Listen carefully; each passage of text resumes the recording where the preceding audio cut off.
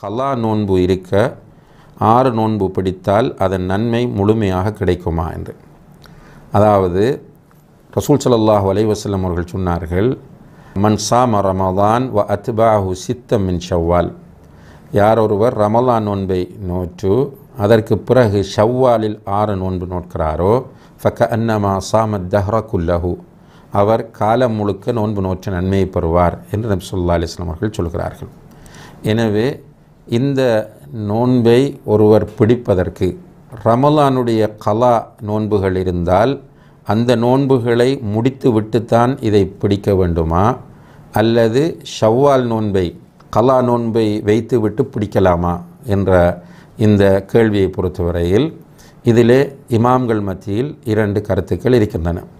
ஒன்று ஒருவருக்கு கலா நோன்பு இருக்குமாக இருந்தால் அவர் முதலில் கலா நோன்பை முடித்து விட்டுத்தான் சுண்ணத்தான நோன்புகளை பிடிக்க வேண்டும் என்கிற ஒரு கருத்து. இரண்டாவது கருத்து இல்லை தேவையில்லை.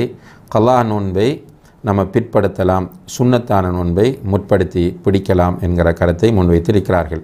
இதிலே ஒல்லாஹு ஆலம் ராஜிஹான மிக சரியான கருத்து என்னவென்று கேட்டால் கலா நோன்பு இருக்கும்போது ஷவ்வால் நோன்பை பிடிக்கலாம். ஏனென்று கேட்டால் கலா நோன்பை ஆயிஷா ரதியல்லாஹன் அவர்கள் சொல்லும்போது அடுத்த அதாவது ஷாபான் வரைக்கும் அடுத்த வருடம் ஷாபான் வரைக்கும் பிற்படுத்துவதாக சொல்கிறார்கள். அப்போ கலா நோன்பை நோட்கிற அந்த காலம் என்பது விசாலமானது. அதற்கு நிறைய டைமை அல்லாஹு தாலா நமக்கு தந்திருக்கிறார். ஆனால் ஷவ்வால் நோன்பை பொறுத்தவரையில் அதை ஷவ்வாலில் தான் பிடிக்க வேண்டும். எனவே ஷவ்வாலில் பிடித்தால்தான் அந்த பாக்கியம் கிடைக்கும் என்ற அந்த நோன்பை நம்ம முற்படுத்தி கலாவை பிற்படுத்தி பிடிக்கலாம் என்பதுதான் சரியான கருத்தாகும். ஒல்லாஹு சாலா ஆலம்.